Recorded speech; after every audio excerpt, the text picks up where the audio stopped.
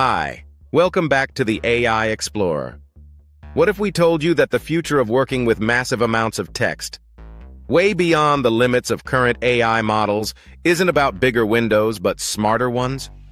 Today we're breaking down a groundbreaking research paper from MIT's Computer Science and Artificial Intelligence Laboratory called Recursive Language Models, or RLMs, a new way of thinking about how language models process long contexts. Imagine asking a state-of-the-art model like GPT-5 to analyze millions of tokens of text. Under the hood, even the best language models struggle as the input gets longer. This problem is called context rot, where the quality of the model's output degrades as the context grows, even if there's enough raw token capacity. Traditional approaches try to compress or summarize context so it fits into a model's context window.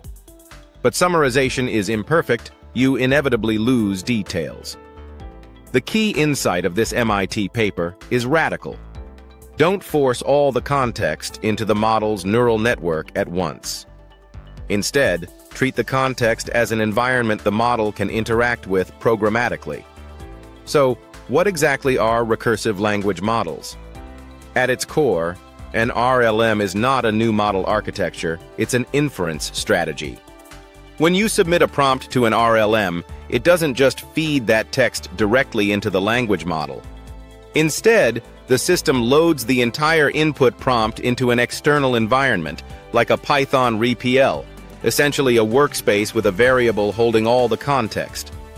The language model can then write and execute code in that environment to query itself recursively on smaller parts of the context. This means if you have a massive document, the model could look at a slice of the text, generate a subquery, call itself again on that subquery, repeat, until it has pieced together an answer. All of this happens without ever trying to cram the entire document into one giant token window. That's the recursive part. It keeps calling itself on progressively focused tasks.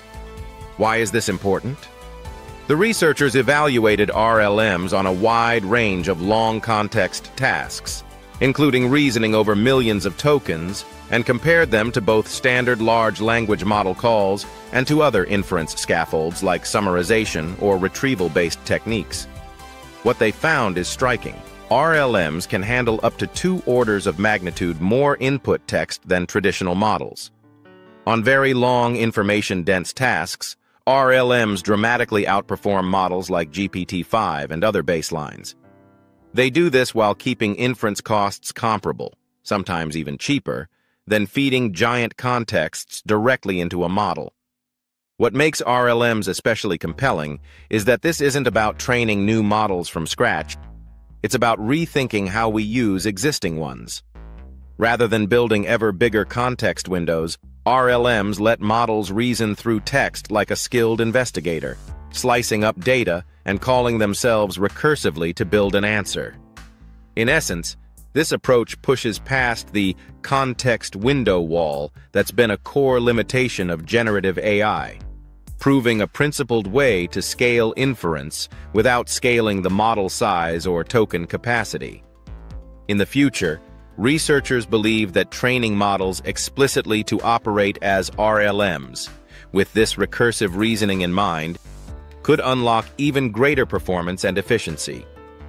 For anyone building AI systems that need to understand long documents, perform deep reasoning, or break down complex tasks, recursive language models could be a major step forward. If you found this breakdown helpful, smash that like button and stay tuned for more deep dives into the cutting edge of AI research here on the AI Explorer.